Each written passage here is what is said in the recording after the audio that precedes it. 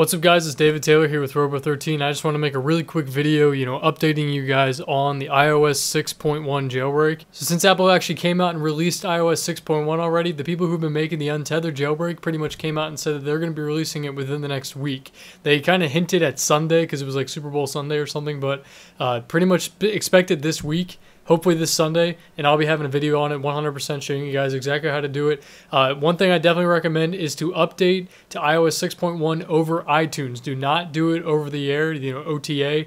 Don't do it from your device. Don't go from the general uh, settings, general software update. Don't do that update it from iTunes because there's two different kind of files you guys are going to get.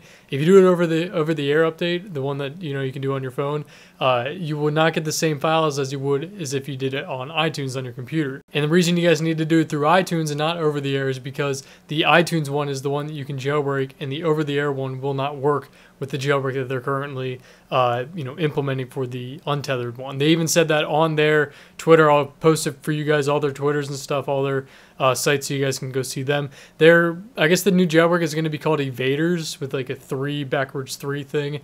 Uh, how they always have done it, pretty much with those weird names. You guys can go check those out. Check out all those Twitters. You guys can follow me on Twitter as well. I'll have links in the description for that, and I'll be posting it the second the uh, jailbreak is released, and I'll definitely make a video on that showing you guys exactly what to do.